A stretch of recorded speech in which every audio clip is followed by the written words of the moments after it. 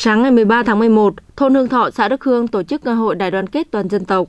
Về dự và chung vui với bà con nhân dân thôn Hương Thọ có các đồng chí Mai Trường Sinh, Phó Giám đốc Sở Nội vụ, đồng chí Võ Huy, Phó Giám đốc Ngân hàng Nông nghiệp, đại diện tổ công tác Ban Thường vụ tỉnh ủy phụ trách xã Đức Hương, đồng chí Trần Bình Lâm, Chủ tịch Ủy ban Mặt trận Tổ quốc huyện, lãnh đạo xã và đông đảo bà con trong thôn.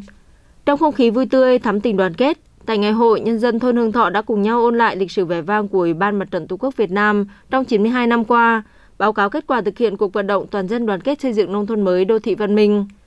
Thôn Hương Thỏ có 135 hộ dân với 526 nhân khẩu. Trong những năm qua, cán bộ và nhân dân trong thôn luôn tích cực hưởng ứng và thực hiện tốt quy chế nếp sống văn hóa mới, các phong trào thi đua và các cuộc vận động ở khu dân cư.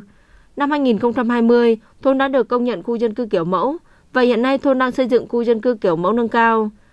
Trong năm 2022, thôn đã vận động các hộ dân xóa bỏ 11 vườn tạp, trồng 4 hecta cây ăn quả có múi, chỉnh trang 30 vườn hộ và công trình chăn nuôi, tu sửa nâng cấp hệ thống điện thắp sáng toàn thôn, khuôn viên nhà văn hóa thôn, xây dựng vườn ươm hàng rào xanh.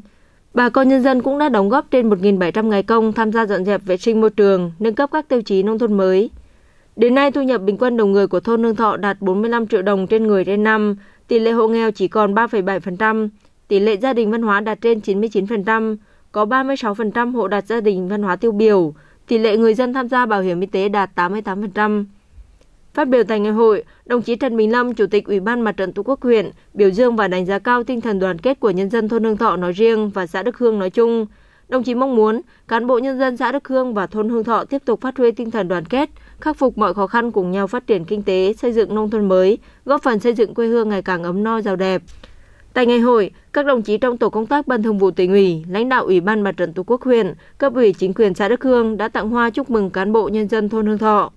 Xã Đức Hương và thôn Hương Thọ cũng đã khen thưởng cho các tập thể cá nhân tiêu biểu trong phong trào toàn dân đoàn kết xây dựng nông thôn mới đô thị văn minh, các gia đình văn hóa tiêu biểu, tặng quà cho các hộ khó khăn, phát động các phong trào thi đua yêu nước năm 2023 và tổ chức quyên góp ủng hộ quỹ vì người nghèo của thôn.